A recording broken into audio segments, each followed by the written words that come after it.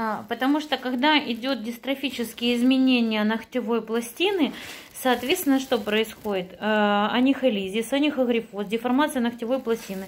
Плюс идет задавленность э, пальца. А, Второй палец, второй палец находит на первый.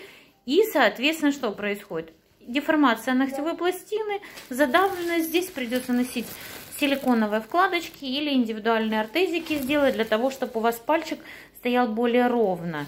Плюс еще идет из-за из этой проблемы образование гиперкератоза на больших пальцах, а, под большим пальцем, где у нас уже косточка образовалась. Также у нас идет гиперкератоз по стопе, потому что а, склонность к поперечному плоскостопию такая очень хорошая.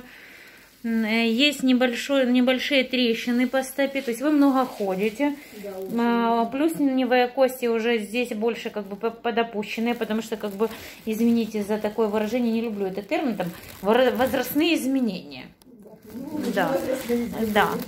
А, некоторые ноготочки утолщаться начинают, да, да, поэтому надо обязательно браться ну, и на, на втором большом пальце тоже. Вот уже пошла деформация на одном пальчике. А, на втором, на четвертом. Мизинец, ригидность мизинца начинает ложиться под все остальные пальцы. Образов... Образовываются мозолелости. Поработаем и будет все хорошо. Вот убрали мы ороговевшие участки.